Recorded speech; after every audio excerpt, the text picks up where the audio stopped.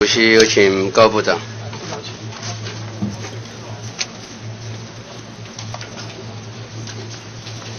陈院长，呃，部长你长。嗯、大家关心国防这是好事。我想，任何一个部会或者跨院，对于我们国防事务的关心或者重视，我们是应该来加以肯定。但是如果说偏离了事实，我们也应该勇于来加以辩解。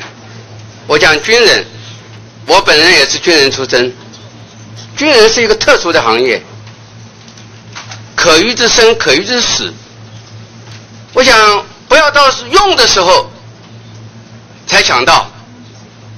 我们看到以往的救灾，我们很多部队所到的地方，大家都认为他是活菩萨。为什么平时这么样的贬义？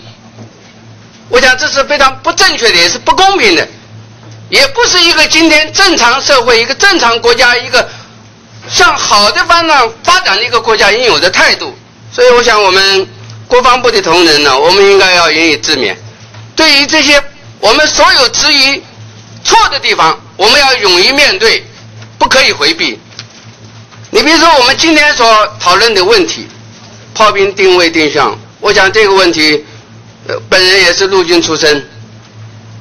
我想延误了五六年，对我们的战备训练应该是有影响的。我希望我们今后在这一方面，我们是不是在作序方面的提出提出来的不够周延，或者说我们在招商方面有什么问题？怎么样让以后不再发生？这是最重要的。我想这一点呢。我特别是不是请部长能够参考？呃，谢谢委员的指导。我想我们会为这个军人的权益啊，这个辩辩护，这个这个是毋庸置疑的事。我想这个谢谢委员的指导。好，第二点，大家对于这个云母的飞弹的提出，我想我们不仅仅是关心云母飞弹而已，我们也应该关心我们所有的装备的选项。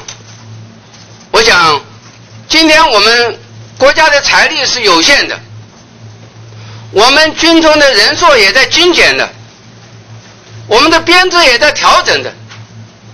我们当初的选项，也许是符合当初的战备跟需求，或者是有不得已的客观的那种环境所造成的，我们面对。但是对于我们就以空军来讲，IDF、幻象、F 十六。那我们后续呢？我们还是永远维持着多种的机种或者是弹药的配比，还是我们应该在某一个地方应该去考量，应该做修正调整，或者给它简单化？我想这个应该是要到了一个深度思考的时候了。这是第一个武器的选项，第二个弹药跟零部件的配比，这个更严重。我们知道弹药它是有受限，到时候。你不，你没有使用，那这个东西你太粗，你还要花钱，你平常还要派人去维护，还有设施的付出等等，这都是问题。我们应该维持一个多大的量维度，既不影响战备，又能够维持训练，又符合我们的预算的需求，这是很重要的。第三个，更重要的零部件的需求，比如说。这个装备还有五年就太粗了，你还在不断的进零部件，是绝绝对的错误。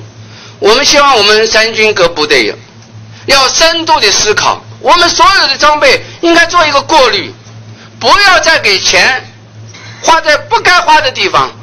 我们希望的是一块钱当三块钱、十块钱用，我们不我们不希望五块钱最后的效果是零。这一点，我想部长认不认同？呃，非常认同委员的这个做法。我们现在就是朝这方这方面来努力。呃，委员刚才提到这些问题，这些现在我们处理的问题有当年的时代背景。像刚才提到这些飞弹的问题，是当年是用特别预算，在同一个时间把它满足了战备的需求，包含训练之内。可是时间过了以后，后续的状况我们没有采取及早采取措施，所以目前会碰到这个问题。我们。而后的武器采购必须考量到它的多批少量，配合训练与战备跟太除，这样子做一个循环式的来补充，可以维持我们的最低的需求。我我想这个做法，部长答复是正确的啊。我们希望能够朝这个方面有效的管制。同时，我想我们也了解，我想部长在后勤方面，你也花了很多的时间的有有深度的这个研究。我们后勤的改制，可以说分合分合，造成今天的态势。我们有很多的这个专业的人员的流失，我们有很多重要档案的流失。我想这个都是我们对我们来讲是非常大的一个遗憾。当然，我们现在一个停损点要赶快设立。我们怎么样让今后不要再犯？我们常常讲一句话：错误的决心比贪污更可怕，错误的政策比贪污更可怕。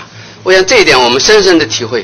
我们是不是能够在后勤这个体系上，赶快以现况来做一个很深度的调整，让它恢复现恢复到我们原来应该有的水准？怎么样能够在有限的财力之下，能够提升我们的战备跟训练？我想部长这一点，我们是不是能做到？呃，我想一定会做到。这个部分必须要赶快按照委员提醒我们这些过去的问题已经发生了，我们这一次的修正，希望能够把以前的问题啊一次做一个平衡。所以这一次我们陆江的金吹案呢，这个陆军陆勤部的这个后勤司令部的这个恢复，跟我们国防部军备局之间的横向协调，必须紧密的来配合三军的用兵的后勤的需求。好，我还有两件小小的问，第一件就是我们呃这次在法国所出的这个我们王同义中校英勇的这种殉职的表现，我们看全国的国人都予高度的肯定。我想这也是我们空军的一种。呃，训练出来的一个成果的一种训练的这种，我想值得值得我们大家肯定。呃，除了保养以外，他们家属所提出来入忠烈祠这一段，我想我们国防部在可能的范围之内，是不是能够一个肯定的答复，尽快尽早的能够完成他们家属的心愿？这个向谢委向委员报告，我们会呃努力向为他家属提出争取。所以关于保养或各相关的这些作为，我们会呃。要提高层级加以包养他，所以包养令我们现在正在行政院这个申请当中，这个他的追赠已经奉总统核定，所以明天移灵我会跟空军司令亲自到机场去引领。我我想这件事情也可以呃证明呢，也可以向国人报告，我们国军来讲训练跟战备就是一线之隔，我们平时就有它的风险，所以我想我们在训练方面，我们应该多给予鼓励。而不是多加去责难。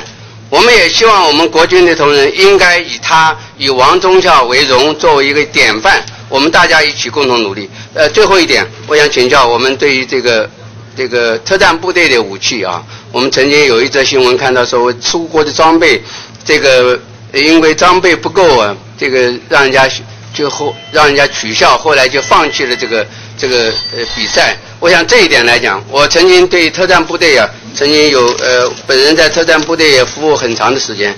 我想，呃，一个特战部队所花的预算呢，跟一架飞机来讲的话，那是不成比例的。所以，我想我今天要跟部长提出咨询的呢，就是说，我们各军种不要有本位主义。也许我们省一架飞机的钱，我们可以筹组一个旅的特战部队。我想这个战力，它。是不成比例的，所以我想我们各军种在预算编列的时候，争取自己的预算是合理的。但是整体来讲，要考虑到整体战力的发挥。因为时间的关系啊，本席就不在此地做做请部长参考。谢谢。我会全力协助这个特战部队在这些轻兵的部分的这个换装。是，谢谢委员。